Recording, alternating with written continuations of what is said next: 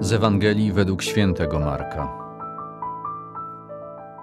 Pewnego razu, gdy Jezus przechodził w szabat pośród zbóż, uczniowie Jego zaczęli po drodze zrywać kłosy.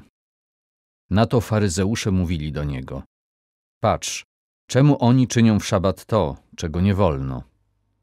On im odpowiedział: Czy nigdy nie czytaliście, co uczynił Dawid, kiedy znalazł się w potrzebie i poczuł głód, on i jego towarzysze?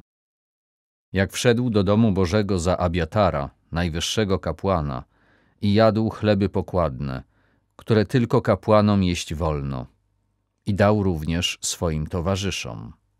I dodał: To szabat został ustanowiony dla człowieka, a nie człowiek dla szabatu.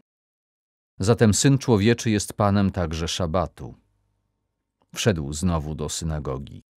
Był tam człowiek, który miał uschniętą rękę. A śledzili go, czy uzdrowi go w szabat, żeby go oskarżyć. On zaś rzekł do człowieka z uschłą ręką: Podnieś się na środek.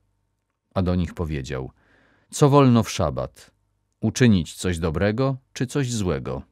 Życie uratować, czy zabić? Lecz oni milczeli. Wtedy spojrzawszy na nich dokoła z gniewem, zasmucony z powodu zatwardziałości ich serc, rzekł do człowieka: Wyciągnij rękę. Wyciągnął i ręka jego stała się znów zdrowa. A faryzeusze wyszli i ze zwolennikami Heroda zaraz się naradzali przeciwko niemu, w jaki sposób go zgładzić.